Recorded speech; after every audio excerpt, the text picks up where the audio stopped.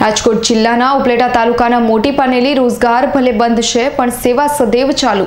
દીપાવલીની ખુશહાલી, ગરીબ બાળકોને બ્રાન્ડેડ કપડાનું વિતરણ માતાજીના આશીર્વાદથી બધું શક્ય છે. આપણે કોણ? ઉપલેટા તાલુકાના મોટી પાનેલીમાં સેવાભાવી યુવાનો દ્વારા વર્ષોથી ચાલતી સેવાકીય પ્રવૃત્તિ લોકડાઉનમાં પણ અવિરત ચાલુ રાખવા દીપાવલી પર્વ નિમિત્તે ગરીબ મજૂર પરિવારના બાળકોને બ્રાન્ડ ન્યૂ બ્રાન્ડેડ કપડાનું વિતરણ કરીને દિવાળીની ખુશહાલી મનાવી હતી. વર્ષો વર્ષ આ યુવાનો હિન્દુ મુસ્લિમના દરેક તહેવાર નિમિત્તે દૂર દૂર સુધી વાડી વિસ્તારમાં જઈને ગરીબ પરિવારો વચ્ચે પહોંચીને પરિવારને કપડાં, મીઠાઈ, ફરસાણ, ફ્રૂટ, ફટાકડા વગેરે વસ્તુઓનું વિતરણ કરીને પોતાની સેવા ભગવત નારાયણના શ્રી ચરણોમાં સમર્પિત કરે છે. અને બાળકોને રાજી થતા જોઈને પોતાની જાતને આ સેવામાં ભાગીદાર બનવા બદલ ઈશ્વર પ્રત્યે આભાર પ્રગટ કરે છે. ગરીબ પરિવારના વડીલો પણ રાજી થઈને આ યુવાનોને અંતરના આશીર્વાદ પાઠવે છે. આ સેવાકીય કાર્યમાં આસિફ, મેર, વિજય પરમાર, હર્ષ માખેચા વગેરે યુવાનો જોડાયા હતા. રોજગાર ભલે બંધ છે, પરંતુ સેવા અવિરત ચાલુ છે.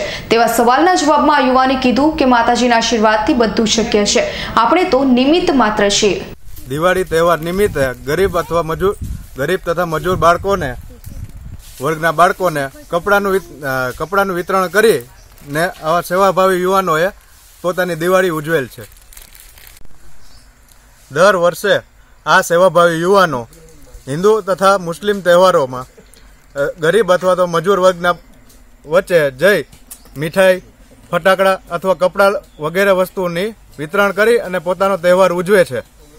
વિપુલ ધામેશાનો રિપોર્ટ ઉપલેટા.